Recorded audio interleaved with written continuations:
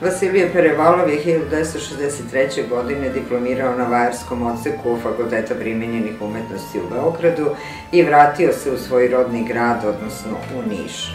E, njegov opus razvije se do duže od 50 godina, ali danas ako imamo taj neki retrospektivni pogled unazad na celinu tog opusa, e, mislim da jasno možemo konstatovati da taj opus e, ima takozvano jedinstvo stila. Ovu skulpturu Konstantina radio sam kad je bio raspisan konkurs.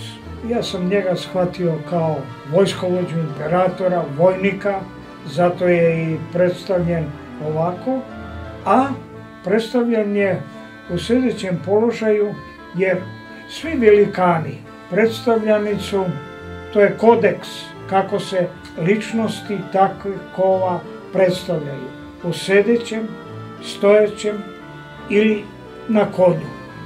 I ja sam odabrao da on kao sedi na jednom prestolu, pored njega je štit sa Isusovim monogramom, u levoj ruci drži svitak Milanskog edikta, a u desnoj obiležje imperatora.